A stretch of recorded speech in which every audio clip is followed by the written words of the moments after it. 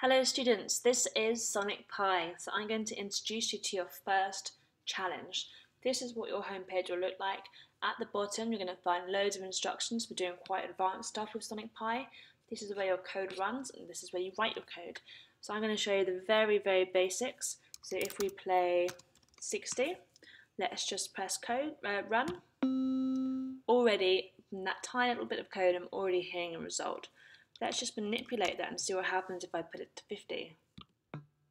So it goes lower and 70, much higher. So I'm going to put in a few different notes here and then I'm going to press run. So have a think, do you think these are all going to play at the same time or will they play one after the other? Let's find out. So that kind of works like a um, chord. That's how you would play a chord. These would play at the exact same time. Now, obviously you don't want to make a song which is just loads of notes at once, so I'm going to show you how easy it is to put a pause. In between my play lines, I'm going to put um, a pause. So I'm actually going to put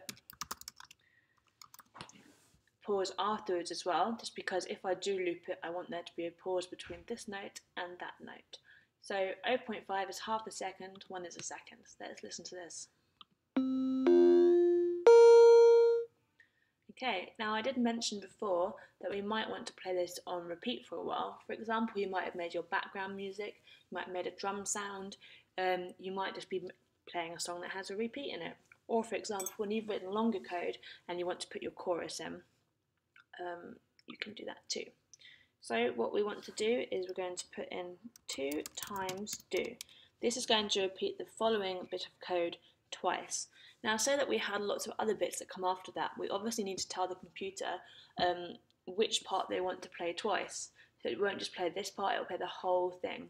So at the end, I'm going to write end here. Now what is really good practice is putting in this space um, in between. That means when you have lots of things that are very similar to this, you can um, see what belongs in between this part and this part, in between the do and the end. So let's listen to that now.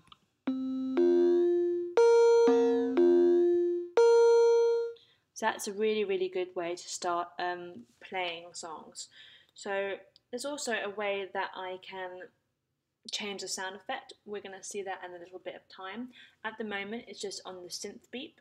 There are obviously different sounds that you can make. However, your first challenge is going to be to learn the code to Twinkle Twinkle Little Star.